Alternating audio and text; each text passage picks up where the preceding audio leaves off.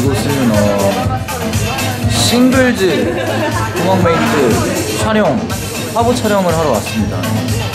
제가 어느새 이렇게 대성을 해가지고 또 이렇게 화보까지 찍게 됐는데 네. 왁둥이 나좀 봐. 배를 막 내밀어. 이렇게 착한 우리 만수 소녀가 아까 어떤 포즈해주었는데 나쁜 어린이의 느낌이 확 나왔었어요. 왁둥이 여러분들. 자 우리 멤버들 한번 찾으러 가볼게요. 어 화보 촬영까지 이뤄냈는데 혹시 더 원하는 게 뭐가 있을까요? 하고 싶은 거?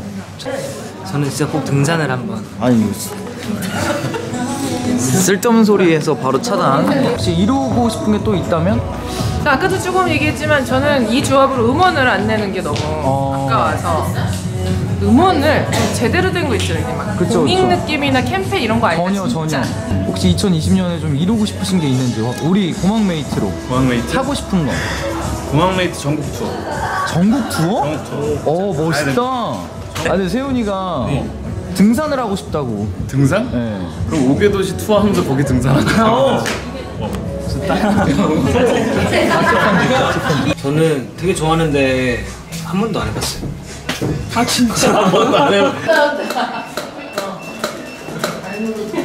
이게 막둥이들인 게 막둥이들이 2020년 공항메이트랑 같이 우리가 해줬으면 하는 거 아니면 같이 하고 싶은 거 올린 것 중에 하나가 바로 화보 촬영이었다고. 진짜? 항상 그대 곁에 있어줘 나나 네. 틀고 싶은 방향으로 터- 틀어주세요. 네, 그렇죠.